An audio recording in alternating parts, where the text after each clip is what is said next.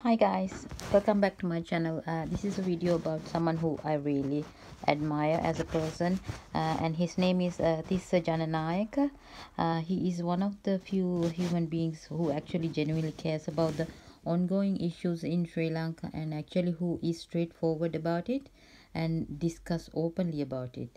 Uh, so um, actually he has educated me to become a better person and make informed decisions rely on uh, correct information.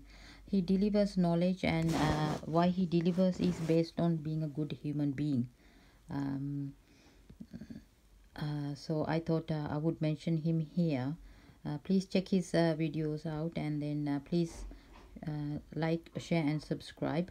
Um, i thought i would mention him here due to the fact i have learned so many things about the nature and as a kid i used to uh, dislike science so much. I used to say i hate science but um, I, uh, here i will go for the soft, softer version um, um, and i will say i uh, i actually dislike science.